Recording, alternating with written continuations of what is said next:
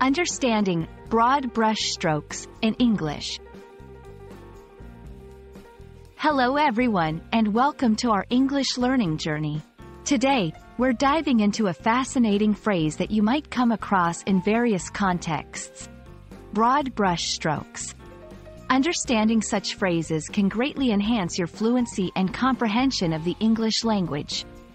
So, let's explore what this phrase means, its origins, and how you can use it in your daily conversations. The phrase, broad brush strokes, is used metaphorically to describe a way of speaking, thinking, or writing about something in a very general and simplified manner, without paying attention to the finer details. It originates from the art world, where a painter uses broad brush strokes to create a general outline or a basic impression of the subject, rather than focusing on detailed accuracy. To help you grasp the concept, let's look at some examples. In conversation, the manager outlined the project plan in broad brushstrokes during the meeting, so we still need to work out the details. In writing, the author paints the historical context in broad brushstrokes, giving readers a general feel of the era without overwhelming them with facts. These examples show how the phrase can be used to convey the idea of dealing with subjects in a general or simplified way. Understanding when to use this phrase can help you communicate more effectively.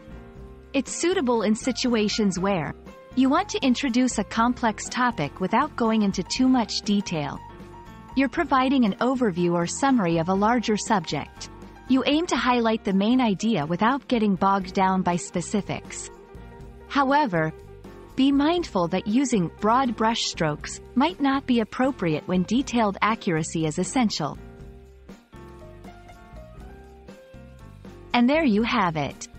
The phrase, broad brushstrokes, is a powerful tool in your English language arsenal, perfect for painting a general picture of a topic without delving into every detail.